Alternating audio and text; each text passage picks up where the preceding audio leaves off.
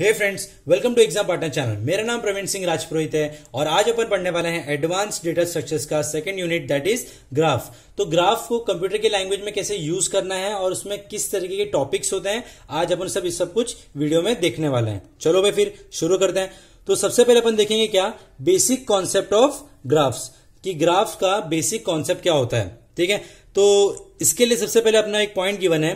क्या लिखा हुआ है? A graph is a collection of two sets V and E where V is a finite non empty set of vertices and E is a finite non empty set of edges मतलब क्या हुआ? Graph तुम्हारा किसका collection है?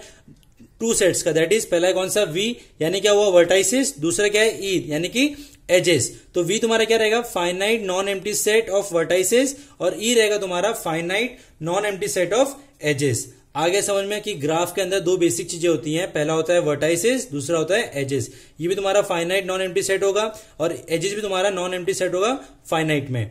आ गया समझ में? अब आते हैं नेक्स्ट पॉइंट पे। क्या लिखा हुआ है? Vertices are nothing but the nodes in the graph जैसे हमने ट्री में पढ़ा था कि हमारा सब कुछ नोट पे, सब कुछ नोट्स के ऊपर चलता है, वैसे ही यहाँ पे ग्राफ में हम नोट्स को क्या बोलेंगे? वर्टाइसेस बोलेंगे। तो वही लिखा हुआ है vertices are nothing but the nodes in the graph ठीक है? अब आते हैं नेक्स्ट पॉइंट पे। Two adjacent vertices are joint by edges इसका मतलब क्या हुआ?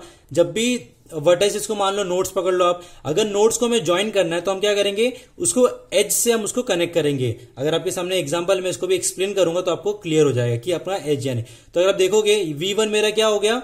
नोड हो गया। वी मेरा नोड हो गया। और ये जो ई वन है, इसको मैंने कनेक्ट कर दिया तो इसको मैं बोलूँगा एज ये हो गया वर्टाइसिस वन ये हो गया वर्टाइसिस टू आगे समझ में? तो अब ये भी जो पूरा लिखा हुआ है, इसको मैंने शॉर्ट में लिखा any graph is denoted as G equals to V comma E तो ग्राफ मेरा किसका सेट हुआ? वर्टाइसिस और एजेस का। अब आते हैं एग्ज़ाम्पल के ऊपर। तो अगर आप एग्ज़ाम्पल में देखोगे, मेरे यहाँ पे कितने वर्टाइसिस हैं? Six V one V two V three V four V five V six आगे समझ में? अब इन सबको मैं क्या करूँगा? कनेक्ट करूँगा। किन से? With the help of edges तो ये वी वन और वी टू को मैंने ई वन से कनेक्ट कर दिया। अब वी वन और वी थ्री को ई टू से वी वन और वी फोर को ई थ्री से वी थ्री और वी टू को ई फोर से वी टू वी फाइव को ई फाइव से वी फाइव और वी सिक्स को ई सिक्स से और वी फोर और वी सिक्स को मैंने ई सेवन से एजेस से मैंने कनेक्ट कर दिया। तो ये हर एक के लिए आगे मेरी क्या एजेस आ गई। तो अब ना मेरा जी क्वेश्चन क्या हो जाएगा? V one V two V three V four V five V six ये हो गया मेरा वर्टाइसिस का सेट कॉमा इसके अंदर आ जाएगा E one E two E three E four E five E six और ई सेवन तो मेरा ग्राफ क्या आ गया इसका? ये आ गया मेरा पूरा वर्टाइसिस और एजेस का ग्राफ। आगे समझ में सिंपल सा कंसेप्ट था। अब आते हैं नेक्स्ट टॉपिक पे। अब नेक्स्ट टॉपिक क्या लिखा हुआ है अपने को? Comparison between graph and tree तो अब यहाँ पे हमको क्या करना है? ग्राफ और ट्री का कंपैरिजन फाइंड आउट करना है कि इसमें कॉमन टॉपिक्स क्या है और यूनिक चीज़ क्या है इसके अंदर। तो पहला पॉइंट क्या है? It is a non linear data structures